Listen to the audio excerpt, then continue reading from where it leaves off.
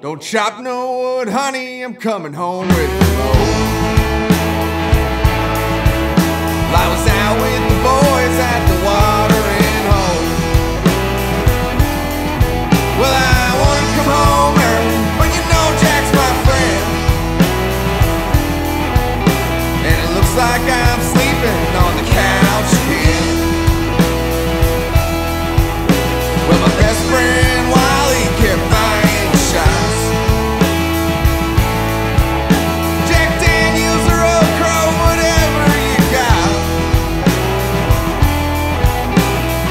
from